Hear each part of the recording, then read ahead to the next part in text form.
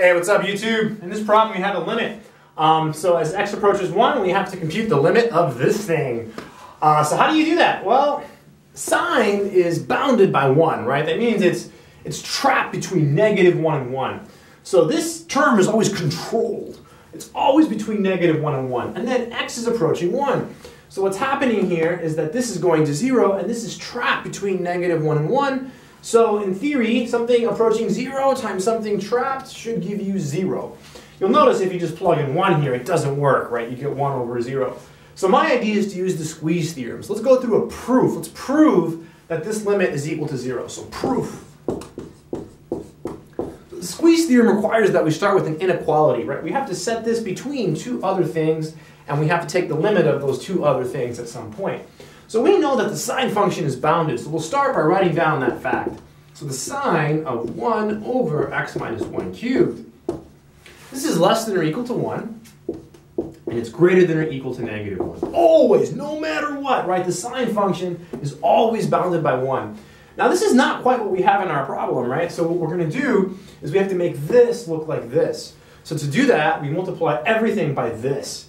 So we're going to multiply this by this, this by this, and this by this, right? So multiplying on the left by this, we're going to get negative x squared minus 1 cubed, less than or equal to, and then multiplying this by this, we're going to get x squared minus 1 cubed, sine of 1 over x minus 1 cubed, and then less than or equal to, and then this goes over here. So this will also be x squared minus 1 cubed.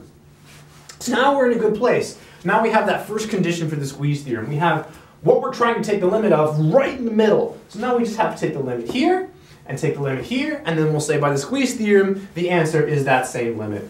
So we'll take the limit here. Limit, limit, as x approaches 1 of negative x squared minus 1 quantity cubed. When you're taking this limit, you can just plug in 1, right? So this is negative 1 squared is 1. So 1 squared I'm going to skip a step. 1 squared is 1 minus 1 1 minus 1 is 0, so you get negative 0 cubed, so you just get 0. Right? So this limit is just 0. Then you do the same thing, you take this limit over here. So limit, as x approaches 1, of x squared minus 1 cubed. Same thing, you plug in 1, 1 squared is 1, so you get 1 minus 1 cubed, 0 cubed, so you get 0. We took this limit and we got 0. We took this limit and we got 0. Therefore, by the squeeze theorem, when you take this limit, you also get 0. So that should be said. So I'll say it over here. So therefore, boom, the three dots. It's like the predator symbol.